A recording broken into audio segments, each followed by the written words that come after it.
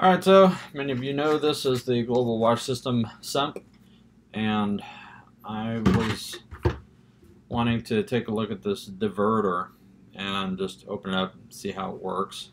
I never really had, I know other people have had problems with it, but um, never really had problems with the diverter myself. Um, but anyways, this, this is how it works pretty much. Um, there's a motor right here on the bottom. We're going to open this up and take a look. At there's two connections, one connector here and one connector here. And uh, we'll open this guy up. You can see there's two outlets, water outlets here.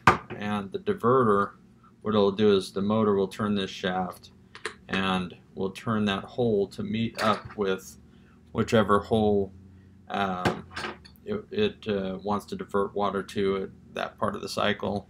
That's pretty self-explanatory there. Uh, so we just uh, take this off, and here's that shaft, the motor. I'm gonna open this guy up. So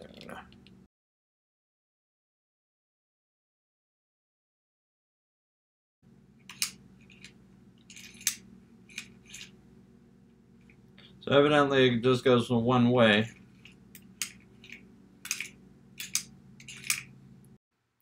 So this switch here, it's a momentary switch. It will uh, tell the control board what position the diverter is in.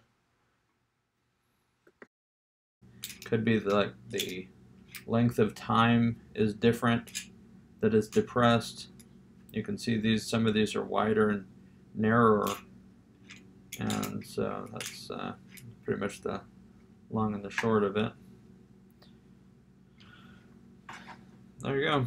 Pretty basic, pretty simple. And uh, now we know how it uh, operates inside.